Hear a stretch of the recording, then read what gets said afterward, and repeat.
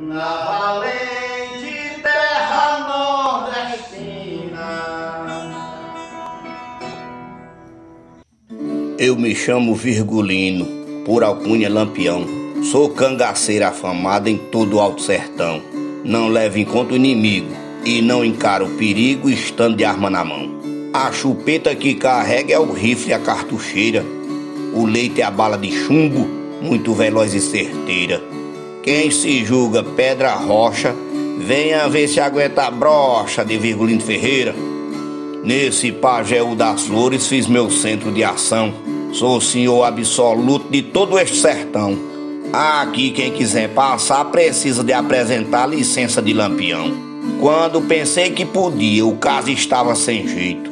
Vou dar trabalho a algum no enfrentar de peito a peito Trocar bala sem receio, sei que morro satisfeito. Meu mano Antônio Ferreira cai na luta sem receio. Livino, por sua vez, não teme combate feio. Gosta de fazer zoada, mas assombra a macacada quando cai no tiroteio. Eu, Antônio e Livino andamos pelo sertão. Soldado que nos enfrentar dá frio no coração, porque já sabe que corre ou se for teimoso, morre e vai morar dentro do chão. Por minha infelicidade entrei nesta triste vida. Não gosto nem de contar minha história sentida. A desgraça enche meu rosto. Em minha alma entrou um desgosto, meu peito é uma ferida. Quando me lembro, senhores, do meu tempo de inocente, que brincava nos cerrados do meu sertão sorridente, sinto que meu coração, magoado dessa paixão, bate e chora amargamente. Cresci na casa paterna, quis ser um homem de bem, viver do meu trabalho sem ser pesado a ninguém. Fui a Mocreve na estrada, fui até bom camarada e tive amigos também. Tive também meus amores, cultivei minha paixão.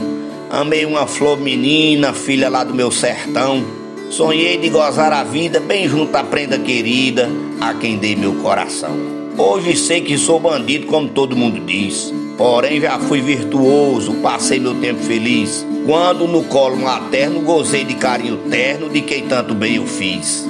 Meu rifle atira cantando em compasso assustador. Faz gosto brigar comigo porque sou bom cantador. Quando meu rifle trabalha, minha voz longe se espalha, zombando do próprio horror. Meu pai, minha mãe querida quiseram me ensinar. Em seu colo carinhoso, ela me ensinou a rezar e a todos respeitar. Ele me ensinou nos campos, eu, menino, a trabalhar.